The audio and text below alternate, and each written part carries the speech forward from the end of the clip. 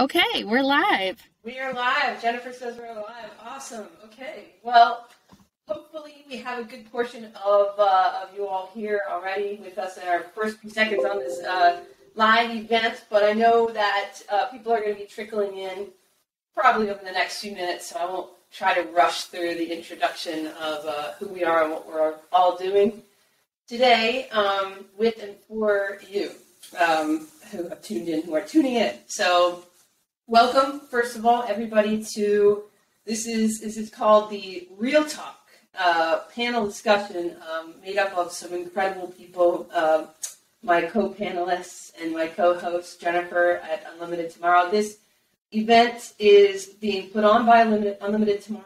Um, as I'm sure all of you know, Unlimited Tomorrow is the incredible group of people um, headed up by Easton LaChapelle who've developed prosthetics and are developing affordable, incredible prosthetics that are changing lives and improving lives of people like all of us on this panel, um, and many who you can't see. Uh, Jonathan's waving his uh, through him.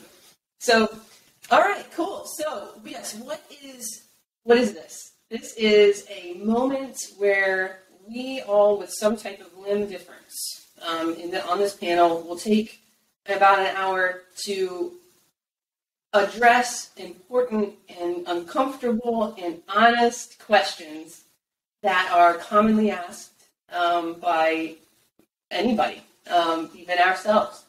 Uh, how, you know, how to how do you deal with this? How do I parent my child? How do how do, you, how do kids relate to each other if they have a limb difference, et cetera, et cetera? That's what we're doing today on Unlimited Tomorrow, and Jennifer have uh, facilitated this moment, so thank you. Uh, I think this is going to be really special.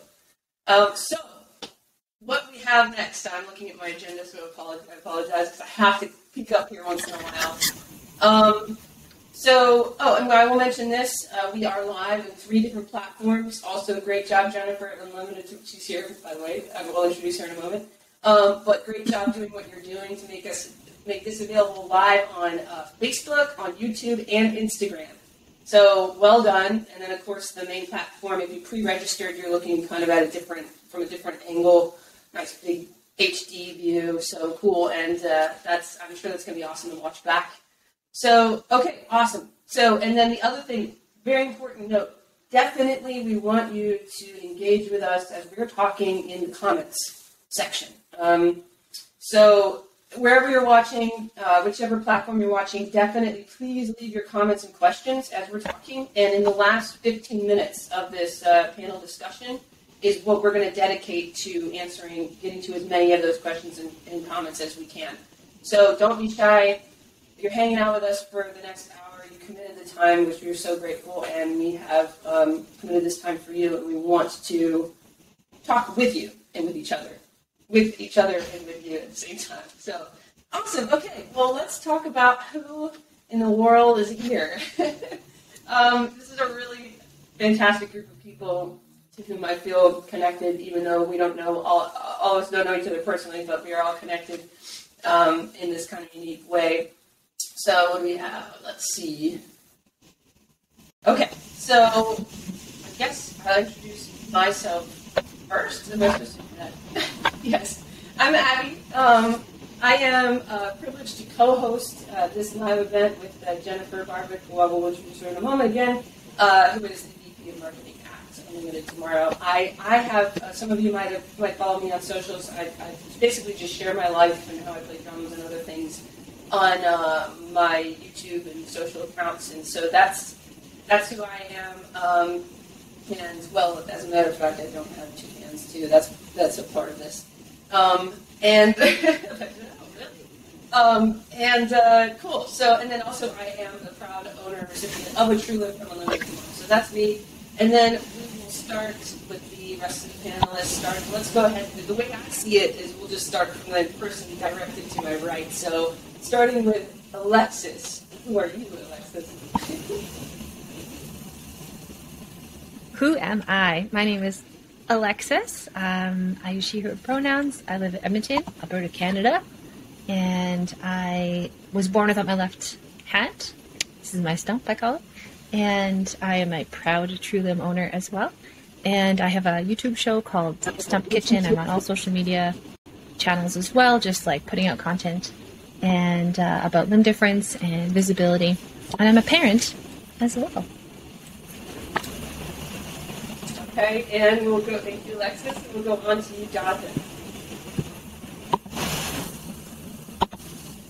Oh, we can't hear you, Jonathan. I was expecting ladies first, but I, I guess I can go ahead and jump on in there. Uh, my name is Jonathan Snyder. I'm the National Adaptive Golf Director for the United States Adaptive Golf Alliance. Uh, I love competing in golf. I love including all individuals with disabilities in the game of golf. Um, I'm engaged. Uh, we getting married in September. Very excited about that. And uh, I'm also the vice captain of the Cairns Cup team, in which we'll be going overseas to London to uh, compete in a Ryder Cup style event. I'm also very, very proud owner of uh, a TrueLimb from Unlimited Tomorrow.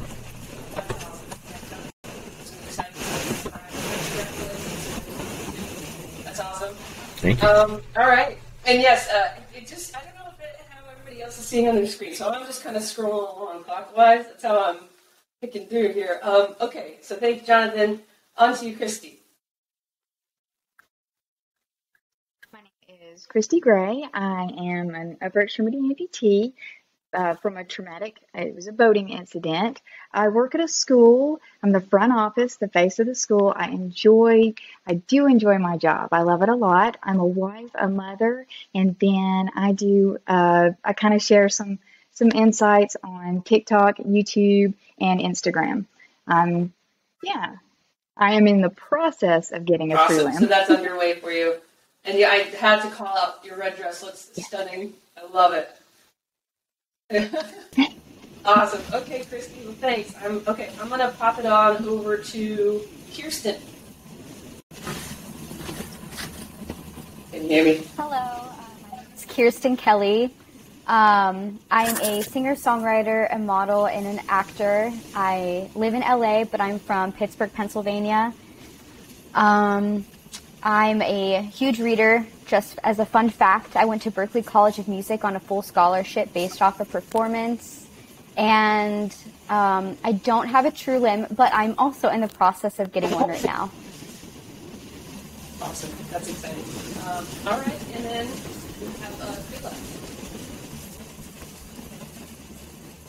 Hi, my name is Kayla, Kayla Maria G, and I am a professional model and dancer. I dance at one of the top commercial studios in New York City, which is really, really great. Um, dancing is my passion, and I love also advocating for our community through Instagram, TikTok, YouTube, all the platforms that we know and love. And I'm also a TrueLimb user as well. And this is mine, which is really, really cool because I was able to really go in depth in the type of design that I like, um, which I found to be really, really special. And yeah, and a fun fact about me is I'm obsessed with Harry Potter. Yes, that's uh, I think probably the majority of people involved in this event probably feel the same. um, but uh, cool. So let me say this before I introduce Jennifer. This is something I accidentally skipped over before, and that is, um, as many of you watching know, uh, April is Limb Difference Awareness Month, um, which is just it's you know there's a lot of different months of the year where people call out different things that we should all think about or dwell on for a moment just to get better understanding and connection. So April being Limb Difference Awareness Month, that's why this is this event is happening here. We're right at the end to cap off a great month of opening up this type of discussion. Um, so uh, we, we our panelists are from completely different backgrounds. Um, we do completely different things on social media and off social media. Um, so simply because we, we all share the commonality of, of, of being limb different um, doesn't necessarily mean we're the same and have the same perspectives uh, on life in general or the same beliefs. And so that's what makes this event so special and important is we get we get to answer the important questions with a lot of diversity of thought and feeling and, and experience. So um, so again, thank you, Unlimited Tomorrow, for putting this on. And with that, the person behind all of this who's really the the, um, the muscle behind this whole thing. Uh, thank you to Jennifer Barbic, who is the uh, VP of Marketing at Unlimited Tomorrow. I'm going to allow you, Jennifer, to introduce yourself. Thank you so much for the introduction, Abby.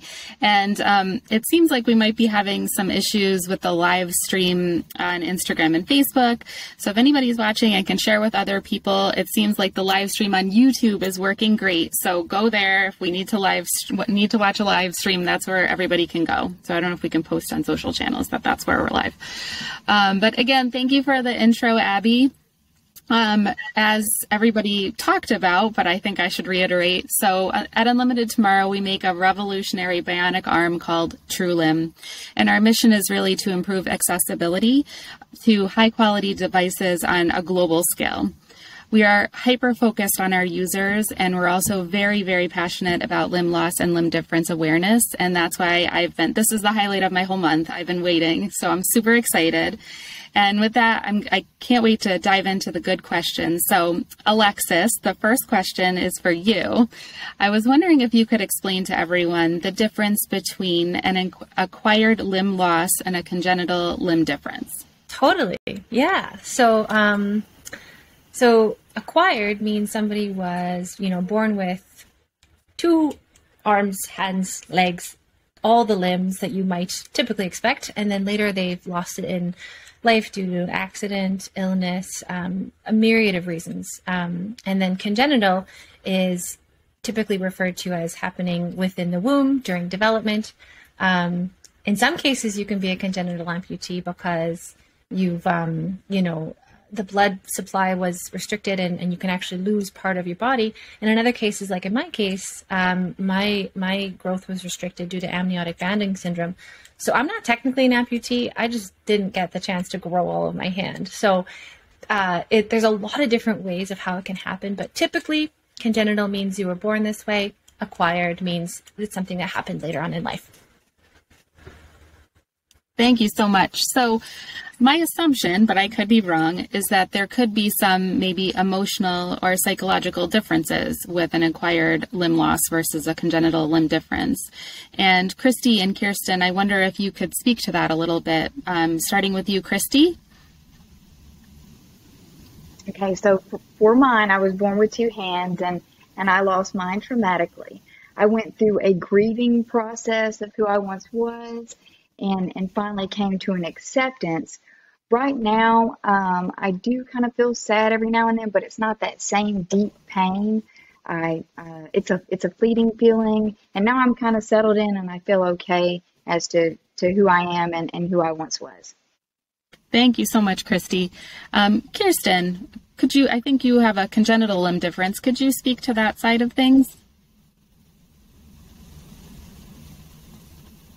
Oh, I think Kiersten might have froze. Oh no. Kiersten, are you with us? Okay, no problem. I'm going to have Kayla. Would you mind fielding that one? Oh, you're on mute, Kayla. yeah. So, for being born with a limb difference, it has to mostly do with the type of mindset because at a young age you start to learn how to adapt because you know life just with just the one limb. Um, and you don't get to really experience the same perspective as people with two limbs do compared with the one growing up you go through different kind of obstacles compared to um, being someone who has lost it and also uh, i know we don't experience phantom feeling or having those type of pains that people who go through losing a limb do Thank you.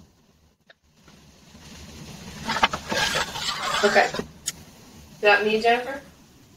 We moved on. Sure that was a good answer. Those were all fantastic yeah, answers. Well said uh, to Kayla about the special. That's one question I get a lot in comment due to comments and such is do you get phantom pain? Because it's a fair question. Um, and Cristie, you probably had some very different experiences than uh, than me and some of us with that. Uh, but, uh, but yeah, that's a, it's a fair question, but it's one of those distinguishing factors for sure from pre to post birth amputation, congenital versus non. Anyway, okay, not not what I'm supposed to be talking about right now.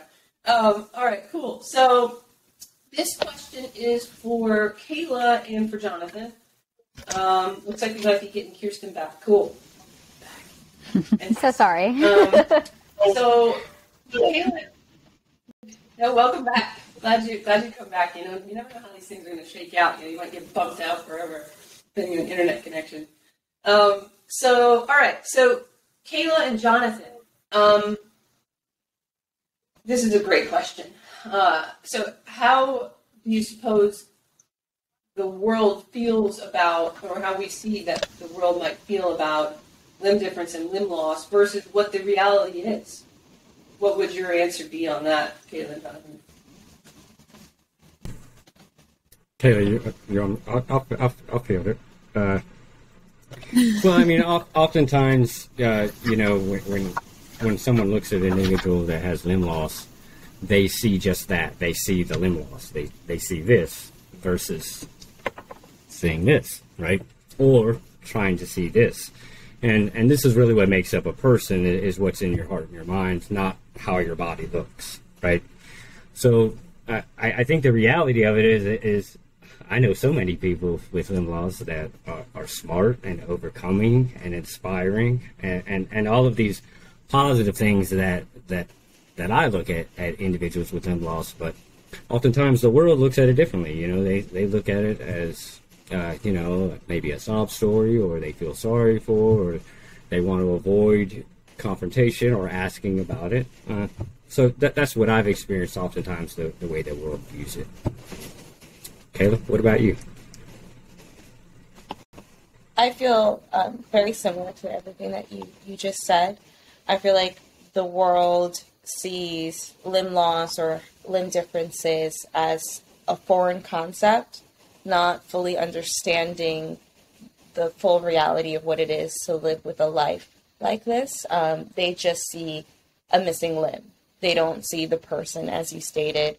They don't know that there's more to a person than just the story or what happened or just trauma um, or just seeing a person just with insecurities and maybe you're not you know you're a person like everybody else living everyday life and it's just the lack of education that kind of like gets in our way and gets in their way because they just don't know better Yeah, good answers, y'all. And that's right. Lack of education, lack of awareness. That's what we're doing this for, you know. And that's that's what this is all about. So, yeah, fantastic. Um, this next question is for everybody. Uh, so, um, and I think we'll do thirty second blurbs here in a nutshell version of each of your. Uh, uh, and I think I guess I'm included in this, dude. So, tips and tricks. What are your tips and tricks for living with limb loss or limb difference? And what I'll do is I'll just go down the order and end with me. Um, so, quick answer Alexis, what's your tip and trick? Or trick? Unmute, number one. Okay, uh, I'd say add a dash of humor to everything you do in your life. I think it's really been made my limb difference experience a lot more joyful when I get to, you know, have that little dash of humor when I feel like it's going to help me in a situation. Um, also, learn your party tricks. Like, what can you do in a crowd that nobody else can do? Can you put your arm all the way down your mouth and scare people? Can you, um, you know, dress up like a zombie for Halloween and like really make it realistic? Like, just find your strengths, you know, and really play to them. I that's that's would be my first one. That's good, Alexis. It's humor for sure. If you watch any Stump Kitchen content, you know what it's all about. Um, awesome, thank you. And Jonathan, what about you? Uh, I guess it, it, it's more of a, a, a, a tip. Uh, just try everything, and if if you feel you can't accomplish it, try it again. you know, because you, you you'll surprise yourself, right? Especially those that are that are new to limb loss just try everything and and definitely add the humor and fun into it.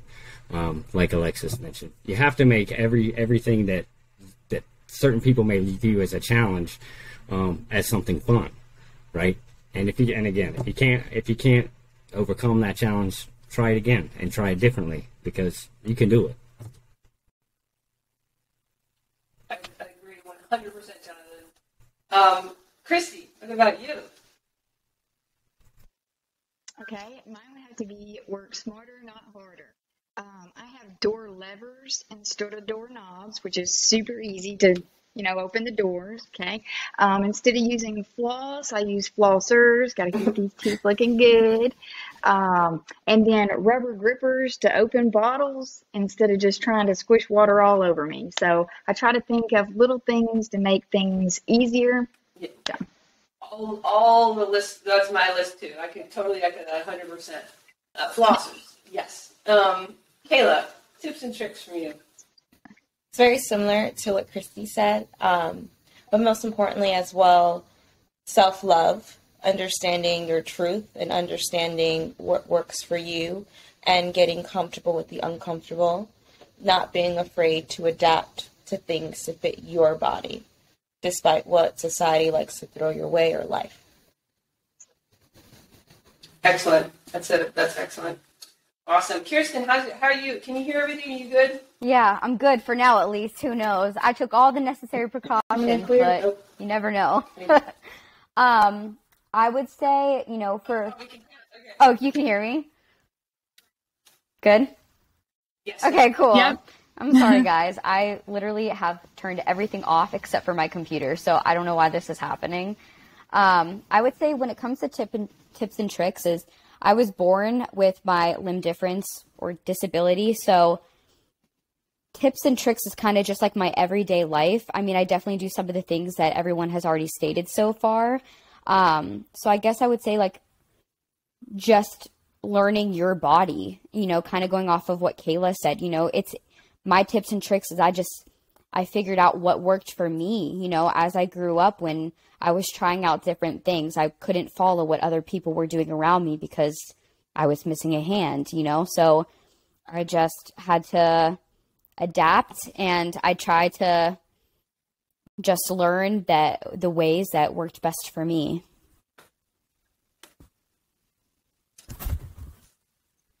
Excellent. Yeah, we have just your audio, but we heard all that. So thank you, Kiersten. Um, and then finally, I guess me. Uh, I made a video about this once on my YouTube channel, but basically, balance and patience. Uh, they go hand in hand. Oh my gosh, no pun intended. Um, so, okay, uh, moving on. Balance and patience. Um, so, literally, I mean, balance like physical balance. If you can, if you play a sport or take a yoga or something that's going to give you core strength to have balance, because all of you all here know there are so many times when you're like open up the car door and holding like three things, and you're on one foot and you're opening. You know what I mean? So, like physical balance, but then patience is the overarching thing for me. Just be patient with yourself. Uh, be patient with yourself because you might feel other people might be rushing you at times. You might be rushing you because you feel a certain pressure to just be at an average speed at certain things, and we're just not. It's not going to be like that. So just be patient, take your time, find your own way, which is kind of what Kiersten and Kayla were saying, and enjoy the process. Enjoy the, the, the reward of having figured it out, whether it takes two minutes, one minute, five minutes, whatever. So that's what I was saying. Okay. Awesome. Um, so thank you, everybody. Those are great answers. Um, so this question is for Alexis, Kayla, and Jonathan. Um, this one's a big one because this happens a lot, um, or at least often enough. Uh, so, what would be your tips for when people um, stare at you in public? Let's say you're going somewhere and you're just doing your thing, not even thinking about your body or anything, just on task.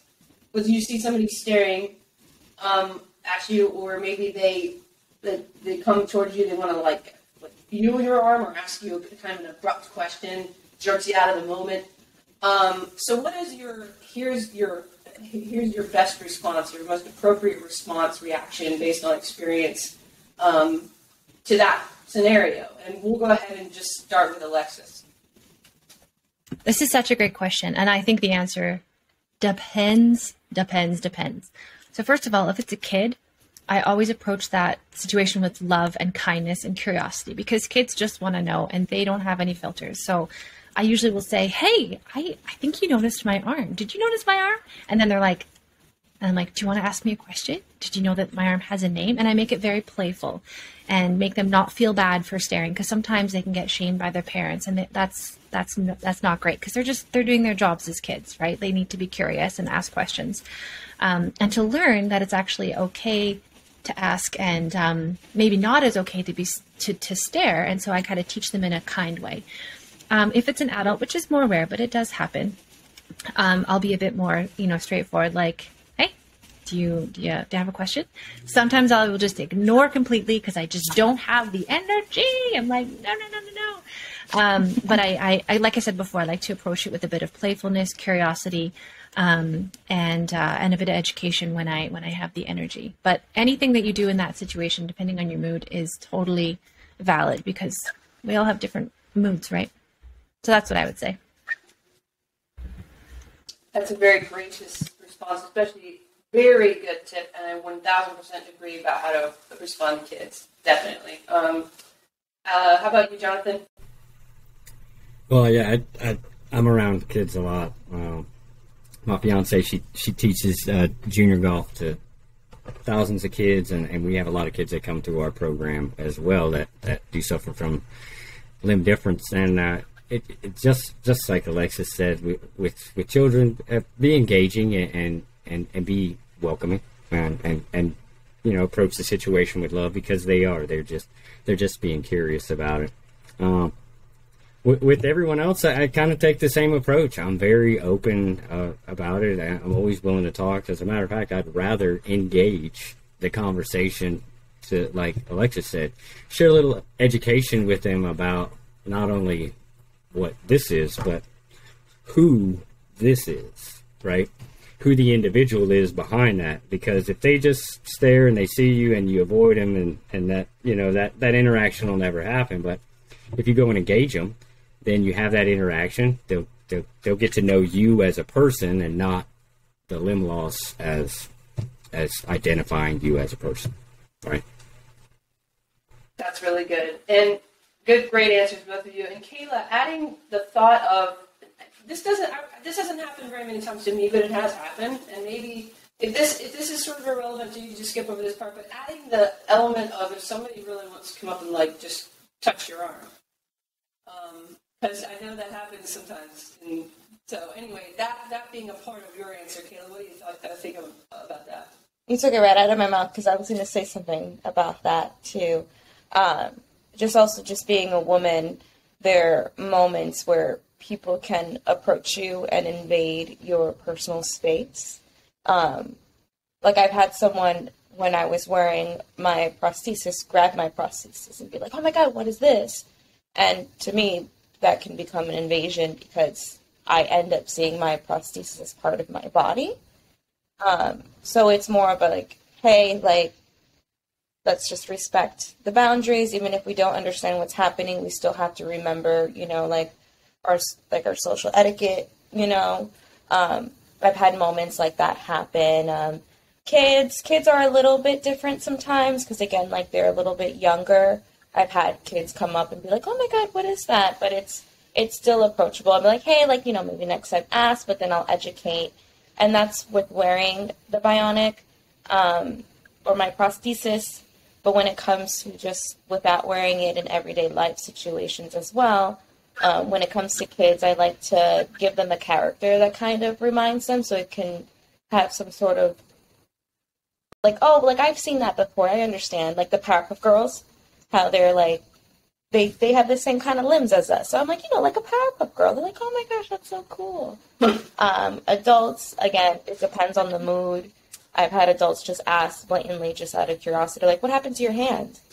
And I would say, oh, you know, that's that's private. You know, and they're like, oh my gosh, I'm so sorry. It's like it's okay, but like sometimes you need to know the person first before you ask an intimate question. So it all depends on the situation, what happens, and how you feel. Absolutely, great answer. And you don't. There's no um, rule yeah. for how, in terms of if you if you want to keep it if it's private, like Kayla said, if you feel if you're a more private person, um, it's okay to say it's private. You know, um, with politeness and respect, mutual respect always in mind, it's okay to say yeah, it's private, and that's all right. It's also okay to give an answer. Um, it just depends on who you are, and just like everybody has said, in the moment. Um, but I think I think each of us takes a pretty loving approach and gracious approach, so that's great. Um, cool. Thank you guys for all those answers. I wanted to kind of flip it around for a second and ask um, what advice might you have for someone who does not have a limb difference? How can someone approach you in an appropriate way? Like, what are some tips in terms of making sure to be appropriate and kind and, and not offensive? Um, and I'm going to direct that to Abby, Cristie, and Kiersten, starting with you, Abby. Um, so, actually, can you come back to me? Because I kind of want to formulate this. Yeah. Can- uh, totally. Um, Cristie or Kiersten, do you want to take that one? So my thing is, um, I would just say to be considerate, and if it's in the flow, if if we're connecting and, and in some type of a, a way, like a story of some sorts, then just kind of flow into it. But be abrupt, um, where it just comes off as kind of, you know, like rude or whatever, then that kind of that kind of takes makes me a little makes me personally just kind of want to just kind of quiet be quiet about it or whatever but if i feel like we are chit chatting and and i mean I'll, I'll give the story and we can have that really great moment and really talk about it and and share some insights from one another so i would say just kind of go with the flow and, and relaxed with it Thank you.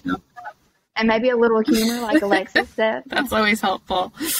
Uh, what about you, Kiersten? Yeah, I mean, I feel like, can you hear me? Yeah. Yep, it's a little choppy, but we can hear you. Um, I feel that um, you shouldn't just approach someone and ask them what happened um, because you're basically asking someone their medical information. You're asking their trauma, if they experienced trauma. Um, I think it's best to first get to know the person. Um, like Cristie was saying, is you know have a conversation, and if it comes up in that conversation organically, I think it's fine to ask as long as like don't be awkward. You know what I mean? Just, just, it's just a conversation. You know, we're people. We're just people. And if you are, if you've already introduced yourself and you've had this great conversation and you know a little bit about the person and you ask and then it's up to that person with the disability if they want to answer or not. They, you know, maybe they'll be more open to answering because you've gotten to know them as a human being and not just approaching them because of your curiosity. Um, and you know, for kids, you know, because that's more towards adults. For kids, I think it's definitely it's a little different because of curiosity, you know. And um, I'm definitely like, I'll express and I'll explain different things, and um, no matter the way they approach, you know, I try to make it into a positive experience and show them that it's nothing to be scared of. It's nothing weird. Um, yeah.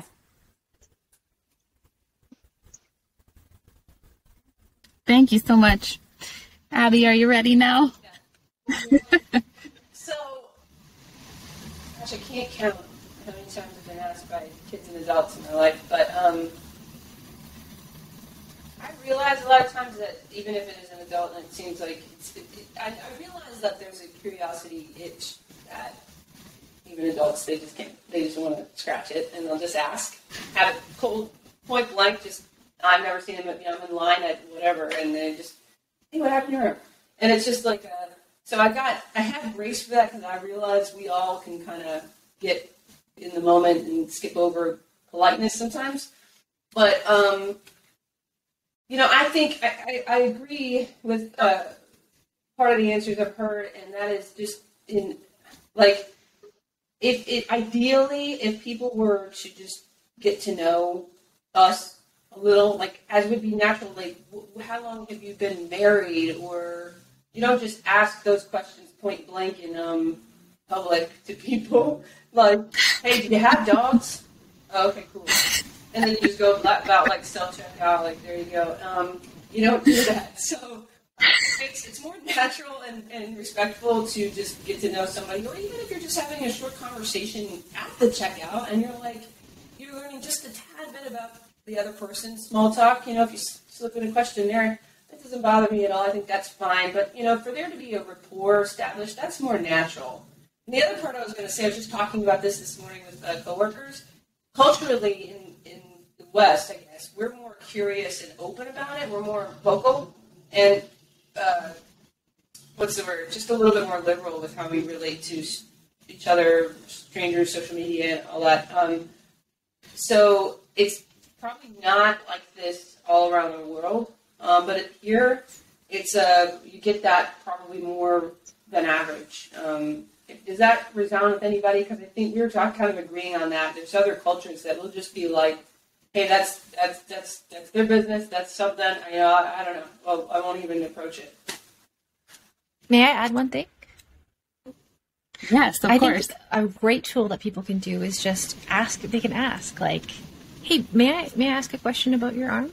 And that gives us the the openness to be like, "Actually, I don't really feel like talking about it," or like, "Yeah, totally." Like I think that first asking of the question is a bit more respectful than just asking. So that's a tool that people can have, um, you know, in in their tool belt for when they're out being awesome in the world. That's good, Alexis. That's really good. Cool. Um, awesome. So we have uh, something near and dear to my heart, probably all of us in some way. Uh, parenting. This is a big one. This is uh, running my YouTube channel app show. Parents of kids who have limb loss or limb difference reach out a lot. How do I, you know, how do I talk to my child? How do I train my child to do well at school? How do they make friends? How do they tie their shoes? Parenting is huge um, for this uh, panel, so we can cover this uh, topic. Um, so, anyway, with that, Jonathan, Alexis, and Kayla, um, this is going to be a question for y'all. How can parents help their child with a limb difference navigate through specifically social situations? making friends at school and just uh, dealing with negative reactions uh, from other kids because that does happen, et cetera, et cetera. Um, so, uh, Kayla, let's start with you, if that's all right. Um, I've had a few parents message me and ask me that kind of question, especially when their kids are very young. Um, and for me, I always share my personal experience of, you know, kindergarten, I think was, well, it was the toughest year for me personally, just because kids can be, kids can be mean, because again, as, as we said before, like there's no filter and they don't know better, but it's harder when you're on the same level at that time. But for me, what my mom did that helped immensely was it was just the lack of education because they didn't know. Um, and then also, I kind of didn't know what was really happening as well because, you know, I'm just like, eh, I'm a kid too. What's going on? I don't get it. Um, and they just didn't understand either. So it was more of like educating them in ways. There's like, there's books out there that talk about like kids, you know, in everyday life with a limb difference, those child books, the same way like you would read any other kid book. Um, my mom had asked for the teacher to kind of read that in class. So things like that, like when you're taking your kid to school and things like that, like maybe having that teacher have a moment to basically give a little bit of a lesson of just like life with a disability, even if it's not a limb difference, if that's what the parent wants to do, because I always found it helpful because the moment that happened, um, they just understood like, oh, okay, she's like everyone else. Um, I don't know if anyone's heard the book Harry, Willie, and Carrot Top. That was like the book that saved my life in kindergarten. Um, but after that, once kids were aware, it just became more normal. Like it just was everyday life moving forward from that. So it was just being able to educate can really, really be a big tool. Excellent. Big time. I agree. That's so true, Kayla. Um, Jonathan. Well, yeah, I mean, again, like like like she mentioned, kid kids can be rough on other kids, but I, I think, uh, for more importantly, the best advice I give to the parents out there that have kids with limb differences, just let them be a kid. Let them interact in those social situations. Um, but you know, also when you know you're getting ready to go to one of these social situations, whether it's simple as taking them to a playground or taking them to a sports camp or, or, or taking them to school, um, may, maybe have a conversation with the other parents, have a conversation with the staff, have a conversation with the faculty, because I think every parent's fear is acceptance, right? That their child's not going to be accepted. Um, but if if they let them go ahead and, and, and, and take on the challenge and, and, and get more confident by overcoming it and being involved more and more in those social situations, but at the same time, not being fearful of, of, of whether or not they're going to be accepted or not. Um, I, I, think I think those the best best advice I can give you is, is, is don't be fearful of, of acceptance um, and and allow them to, to be engaged in these social uh, situations because um, it'll just make them more comfortable and confident as they go along. That's pretty awesome. Um, Jennifer, sorry. No, that's okay. Um, so I, we touched on this a little bit, but I'm just curious about if you have any other thoughts, um, Abby, Kiersten, and Cristie, about you know how can I help my child who does not have a limb difference um, be appropriate when we see someone in in public. Um, you know, is it just the go ahead and ask, or is there some sort of advice that parents can give children that don't have limb differences on how to approach someone with a limb difference? Um, I, you know, I've read various things that where it's almost worse if you tell the child like, "Oh, don't look," and like make them, you know, take them away quickly, like it's something shameful, or you know. So I just wonder what your thoughts are on that. Um, starting with, we'll say Abby. Okay. Unless you don't want to be on the spot this time no, again. That's okay. No, that's all right. Um, okay. Yeah, I'm thinking of future. You know, if I had kids, how as a future parent, how I would do, talk about that, which is funny. It's coming from me, so I don't know. Anyway, um, but ideally, if um, I would just, I, I would encourage, kind of playing off of what Jonathan said, don't try to keep fear out of the equation completely. So I'd probably encourage my child to um, be kind and be, and it's okay to be curious, but make, make sure to remember that kindness first. So if that comes out in the form of, hey, I'm so and so, what's your name? Oh, like you're you have something different about your arm. What is that? See, like the thing is, it can sort of for me, and sometimes, I, I remember certain instances, it was sort of a tool in a way to to make connections with friends. Um, so to not be afraid to um, not to be afraid to relate. So don't, you know, you wouldn't want to say, okay, well, don't ever ask if you ever see a child with anything different than you're used to. Don't ever ask. Because that's not natural. But be kind in asking, or be kind in how you approach, no matter what. And so, you know, that as a principle, I think that safeguards against there being any sort of awkward, rude interaction. Thank you. Um, Kiersten, oh, no, no, Kiersten, Cristie. thing, I guess, is to uh, kind of have uh, conversations about differences.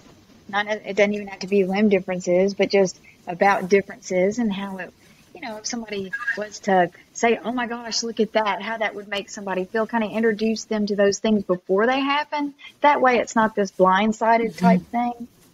And read books. There are some really great books like her, like Kayla's mother did. That's fabulous. Um, read them books to kind of introduce them to the possibilities beforehand. Thank you. Um, Kiersten, what about you? Did you hear the question? Were yeah, you on? I did. Um, okay. So switching back and forth, switching back and forth. Um, so I would say that um, I agree. You know, Jennifer, what you mentioned, how like I personally don't think that you should shush and like tell your kid not to like stare. I think instead you should take that opportunity to um, have a conversation with your child and explain, you know, what disabilities are. And then from there, you can always grow off of that with books, with any kind of research, with, um, you know, there's so many models, you know, in the industry now that have disabilities, you know, show them all of this material just to normalize it for the child. Because I think when you shush a child, um, they grow to be the adult that stares and kind of invades your space. And we don't want that to continue, you know? So let's start young. Yeah. Yeah, that makes sense. Thank you guys. Um, what might Cristie and Alexis? I'm wondering what if if you have any ideas about what questions you could encourage a child to ask. Like a child without a limb difference asking a child with a limb difference? Or an adult. Or an adult. Yeah. Yeah. Um, I think, you know, asking the question first, you know, like, hey, can I can I talk to you about your arm? I'm I'm curious. Whatever is really important. Um, but I actually wanted to back up a little bit and something I'm trying to do with my little one. I have a, a two, almost two year old is show them and and have them engage with so many different people that when it comes to seeing someone in real life, other than their mom, of course, um, it's kind of like a, a non. It's not even that exciting because it's like, oh yeah, this is just one other way that we can be in the world.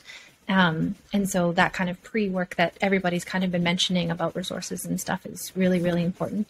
Um, so yeah, like I love the question like, hey, can I, can, do you want to tell me a, your story? Like, can, do you want to tell me about your arm? Like, or like, do you have a special word that you call your arm that I can refer to it as?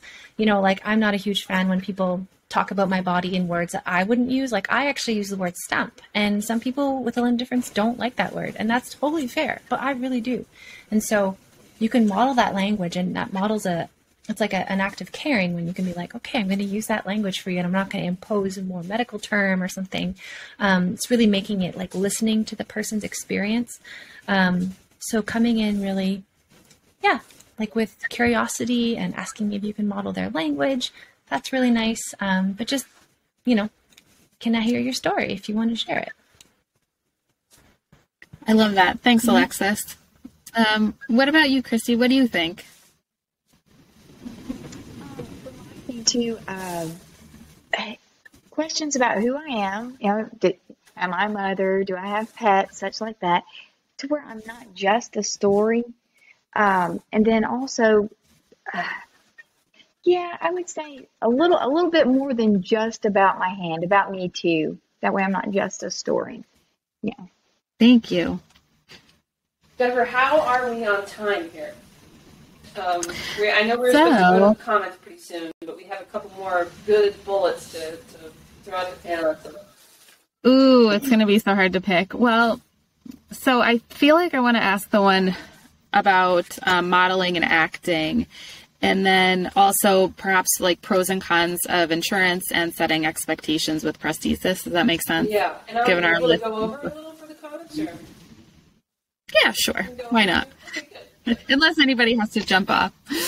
But um, yeah. So um, I do want to get into this one because I think it's it's a topic that's really interesting. Um, Kiersten, Kayla, and Abby, I know. Well, many of you have public personas and are out there, but I, I wonder specific to the world of modeling and acting, how do you guys navigate getting opportunities due to your limb difference versus not wanting that to be the deciding factor? Like, how do you reconcile that when you're analyzing different opportunities and things like that? I know that's a loaded question. um, Kiersten, do you want to go first? Um, well, I feel like some opportunities, like there are roles that I have auditioned for that the label was person with disability, person differently abled. So some of them, like a lot of commercials and stuff, like that's that's the role name that I'm auditioning for. Um, and I think part of me just understands that you know, I have to build up credits and I have to build up uh, material, um, especially in the acting world, because I'm pretty new to it. Um, Got to build up the IMDb credits um, before I can really get to more um, roles that you know aren't specifically requesting a person with a disability. Um, there are some things that I've done. Uh, I'm filming a feature film right now, actually, and the character has nothing to do with my disability. The character was not stated to have a disability. Um, but you know, it's it's a balance, you know, to try to find what different opportunities like that. Um, you know, I think it's also too there's been stuff that I've done in terms of just navigating when you're on these sets as well, because I also think that's really important, not just like the gaining the opportunity, it's what you do on set. Um, I've, you know, learned that a lot of companies that, you know, I work with, sometimes they want to make sure like my prosthesis is seen. So when it comes to wardrobe, um, I try on a lot of outfits because they want everything to match, you know? So being able to know that knowledge and going into fittings and letting the stylist know, like, hey, this might be what they want. So it might help you to like select different things. Or um, sometimes different companies, if you have multiple uh, prosthetics, they might request like specific ones. Um, I've had that happen to me. Um, I also too like it, it's knowing your boundaries. Um, I've worked on a set before with a really, really great director, very open to learning and becoming educated. Um, met with me one on one, and I helped.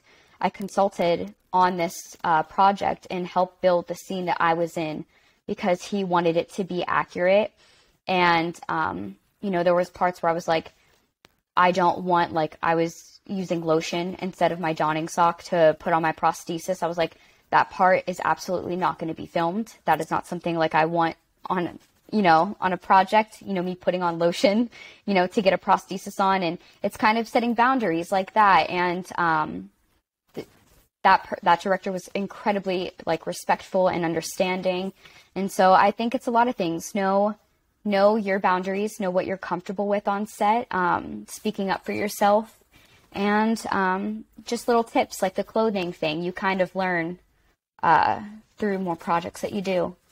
Oh, we lost Kiersten oh. again, so um, that's okay. Um, Kayla, I wonder what your thoughts are on that topic. I know you've done a lot of modeling work and have a lot of experience in that area. So, for me, I take a different approach. For me, when it comes to roles that say, you know, people with disabilities, I think that's fine because it could be the same thing of like me auditioning for a role that says, you know, models with curly hair, you know, and people don't think twice about it. Why do we need to think twice about disabilities? It's part of life. So why not?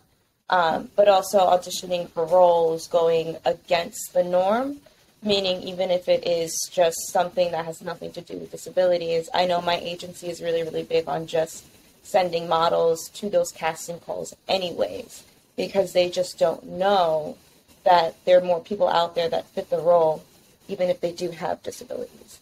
Um, so it's more being able to just push against what society doesn't know yet because they just don't know. So you have to put yourself out there in order to that's what I do at least like I put myself out there even if it's not something that is geared towards someone with a disability because now it can be. Um, just like for an example um, I opened up for like Pretty Little Thing dancing wise. That wasn't something that's never been done before.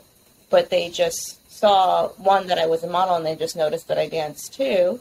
And we just figured out a way to kind of correlate that into, you know, the the campaign, the the swimwear week, and it became like this breaking of a barrier thing because it's just never been done before. So going against the grain can create barrier breaks, is what I like to say. And on jobs, it's really important to feel comfortable expressing what you need, what you are not comfortable with because I know there are some models who have disabilities who are afraid to speak up because they feel like they won't get the opportunity again. But at the same time, you should feel you are allowed to speak up because this is what you need for your body. Um, I've been on sets where I would see, I mean, I, I've been on many, many sets where campaigns are very genuine and it's very beautiful and I love it and but there's also sets where they just want to just have that inclusiveness or maybe they just kind of lack the education of what it means to have someone with a disability on set. Um, for example someone who is like below the knee amputee sometimes you need different type of shoes because of the specific prosthetic. And they didn't um, provide that and she was afraid to say something. And you shouldn't feel afraid to say something because if they're wanting you to do this they should try to understand what your body entails because they maybe just don't know and you just need to like let them know. or a wheelchair user, making sure there's accessibility throughout the whole thing because you have the same amount of right to be in the same space as everybody else. So there's so many things, and it's just mostly just lack of education and being brave enough to one speak up and go after the things that you want to, despite thinking that you can't, because you can. Yeah.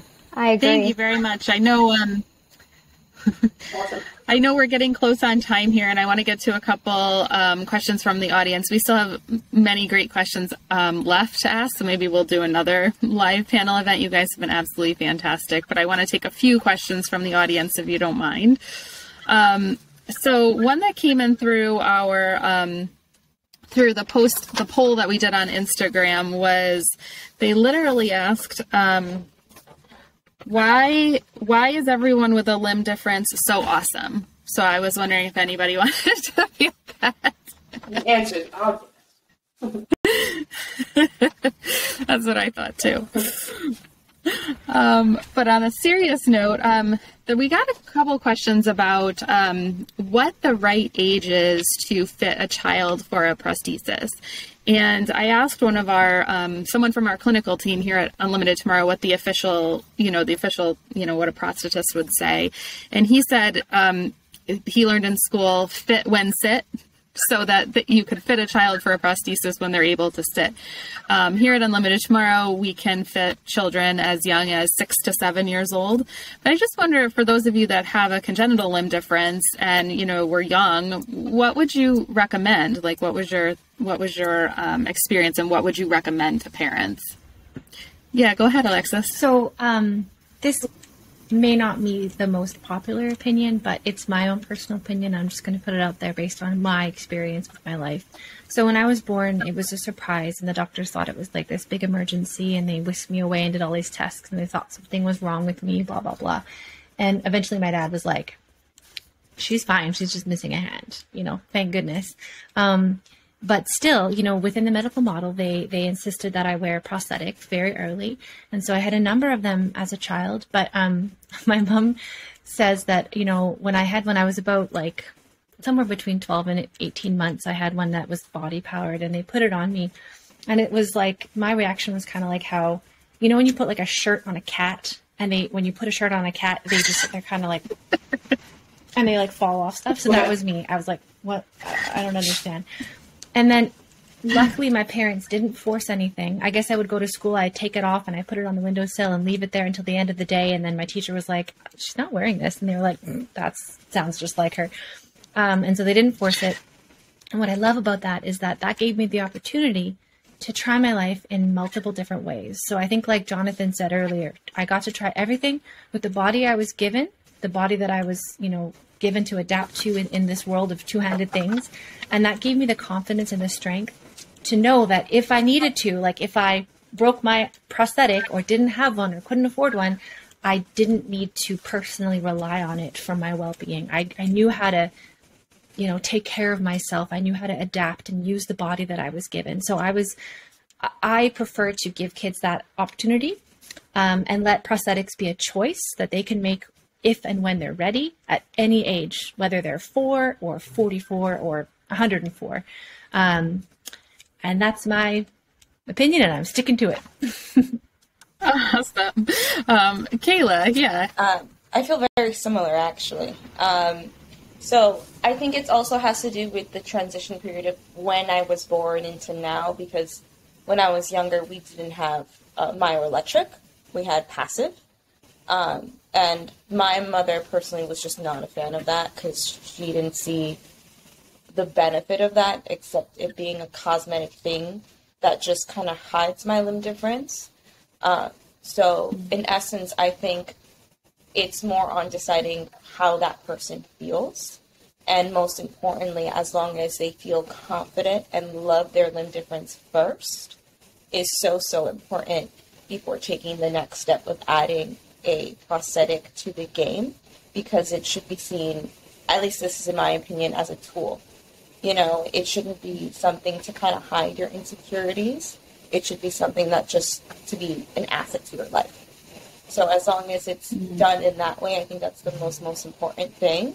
Uh, again, I think if myoelectric prosthetics were brought in when I was younger, maybe it's something that I would have liked to include because it is harder now, me being older, using my prosthetic on a daily basis because I have no idea how to operate life as a two-handed person. It's like another way that I have to adapt in order to use my prosthetic. So maybe if I was younger, because I know some people who use their prosthetics at a younger age, they have a better um, way of using them compared to just hopping into it now as, as an adult. But again, um, I just think it's more about making sure the reasoning as to why you want to wear one is the most important thing as to why you're going to get one. That's great. Thank you so I would much. love to try to respond if my mic works. Um, I, ha- I had a passive prosthesis when I was a baby, and I would hit it off all the time. I never ever used it, and um, I never felt like I needed a prosthesis until a year ago. Tomorrow will actually be the one year anniversary of my first myoelectric prosthesis, and so I agree with both of them that it's you know to educate your kid and like let them know of these options that are available but also like follow their needs and what they're comfortable with because I didn't really want one and I wasn't really comfortable with getting one for a long time.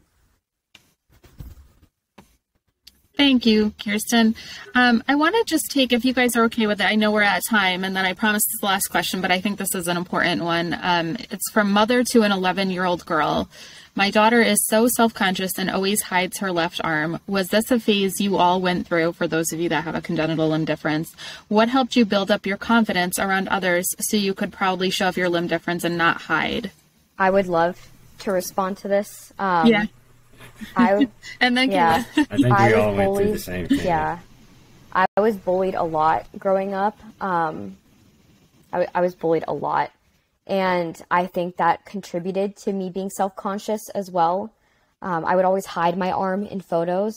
And it's, I didn't even realize that that's why I was doing it, you know, for a while. And then someone brought it up, and then I started noticing it all the time. And I think I just got more confident in myself as I grew up. I think um, it's kind of like you, you become more confident in your body and what you have, you know, the the more you age and you grow up, and I think that's a big part of it. Um, but yeah, I think it's it's somewhat normal to be, you know, self-conscious, especially there was no one in my school that looked like me. I didn't meet a single person that looked like me until the end of high school. I met one person. And so I was very alone. So I, I think it's very understandable. And I think just like giving your kids support is the best thing that you can do. Thank you. Kayla, did you want to speak to that next? Um, I feel like this is a moment everyone goes through when someone stares. Like, I, I, I like a rite of passage. I feel like within this kind of life that we're in, because we all go through this. Um, and I, I always see that it ends up going into two extremes, which either like it becomes you feel self conscious because it's just like the stare that's happening to you, or um, it can also have the opposite effect if you'll feel stubborn enough that you want to go against that. Um, and that was something that I felt that when I saw someone staring at me, I didn't want to roll down my sleeve. In fact, I rolled it up even higher. That's how I felt because my mother raised me to feel like I can do the same thing as everybody else. Um, she never allowed me to say the words that I can't, that I can always adapt. And like once I felt that first stare that happened to me, I decided to move forward to wear short sleeves because I'm like, you know what? If you're gonna stare, then now I'm gonna get comfortable with this uncomfortable feeling that's happening and live in it and just kind of grow in my own self confidence. So that's the approach that I took. Um, again, I'm really, really loving on my body. I I personally never felt insecure about my limb difference. It's something that's always been my favorite part of me. Um, it's not something that you hear often, which breaks my heart because I feel like we should hear that more often. Um, and again, like I, I'm this dancer that's really big on just like loving your body for what it is. So when those stares happen, I always say go with how you feel about yourself mostly and not allow this outsider to dictate your body because it's your body. And I know you may feel uncomfortable and you want to kind of like end it, but the more you push against it, the more you grow your comfort zone, the more confident you get. And people who don't understand what's happening and look at you and see you being confident, they will respect that without even realizing it. So it, it's all about how you decide to dictate that energy and they'll listen to that energy. Thank you so much, Kayla. I think that's really insightful. Unfortunately, we have so much more to talk about, but I think we have to end it here. I think this is going this was an incredible way to end Limb Loss and Limb Difference Awareness Month. I thank all of our wonderful panelists. If anybody on the call wants to connect with any of our panelists, feel free to send me an email directly and I can connect you or you can follow them on their social channels. My email is jennifer.b at unlimitedtomorrow.com. Um, I did want to let everybody know that next week, if anybody's interested in learning more about our TrueLimb product, we're doing a live webinar on May 3rd. Everyone is welcome to attend. We have a link in our bio on Instagram, and there's also a link in our latest post on Facebook. And with that, I think I'm going to end it and thank everybody. It was incredible. Have a great night. If the panelists could stay on for just one second after I stop recording, that'd be wonderful. Happy limb difference awareness. Thanks, everybody.